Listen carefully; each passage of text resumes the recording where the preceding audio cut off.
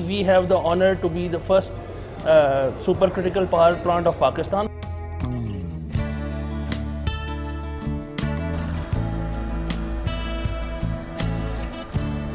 For the emissions, we have uh, installed the world best uh, environment protection technologies. So for the particulate matter removal, we have installed electrostatic precipitation system. To control the NOx, we have low NOx burners. And for the uh, removal of SOx, we have flue gas desulfurization system.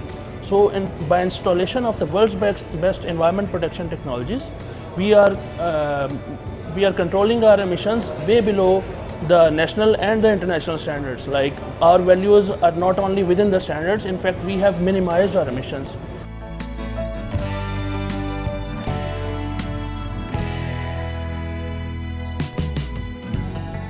Uh, in fact, in fact, this, uh, these all are the fake allegations and the rumors going on in the vicinity. Uh, in fact, we have installed the decentralized waste, wastewater treatment system.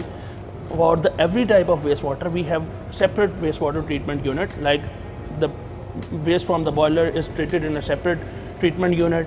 The waste from uh, the oily, uh, oily wastewater is treated separately. The coaly wastewater is treated separately.